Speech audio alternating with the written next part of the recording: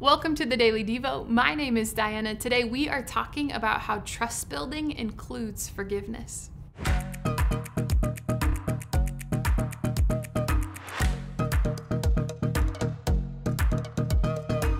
You know, as we live in and with relationships, we all discover this choice that comes before us.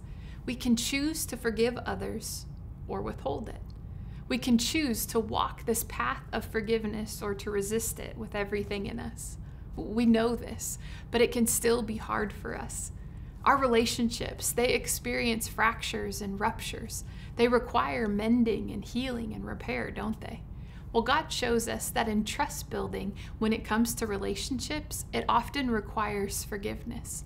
Listen to today's verse. It's found in Colossians chapter 3 verse 13, and it says this: Bear with each other and forgive one another. If any of you has a grievance against someone, forgive as the Lord forgave you. You know, much has been written about forgiveness, and rightly so. That God Himself in the Bible has both taught us about forgiveness and He has demonstrated it.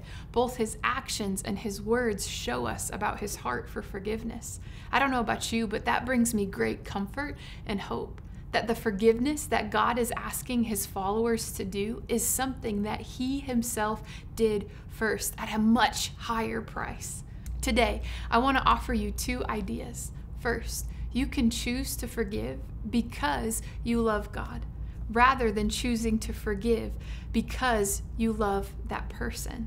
That's part of what Colossians 3:13 invites us to consider that we can forgive as the Lord forgave you that this forgiveness journey can start first and foremost out of a love for God and out of our desire to follow God's ways. Rather than focusing on the person, we can focus on God as we choose to make the first steps of this decision. The second idea I want to present before you is this I want to offer you this reminder that a choice to forgive can be a journey that you and the Lord walk out and even wrestle out together. You, you don't have to pretend.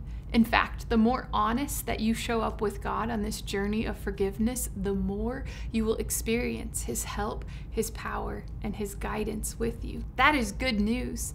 That God first models for His followers what He is asking them to walk in, and then secondly, God empowers His followers to walk in His ways. Forgiveness, it's not a journey you have to walk out by yourself, not at all. God will walk with you if you so choose, and He can handle whatever it is you bring as you walk with Him. Today, is there a relationship that you notice that subtle invitation from God that you, you feel Him inviting you to choose forgiveness? Notice the Lord's leading there and spend some time talking or writing or creating um, why you don't want to forgive or sharing what's hard about forgiveness with God, then ask God to help you. The choice will always be before you. May God help each of us walk the journey of forgiveness. Blessings.